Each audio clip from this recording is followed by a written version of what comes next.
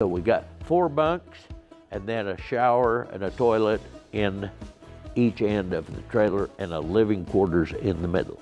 And then we have a cook trailer. The whole front end of it has two slides. We can feed 16 people at once inside a trailer house.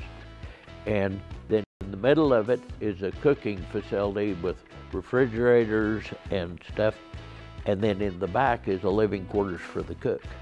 And that, we're pretty proud of that.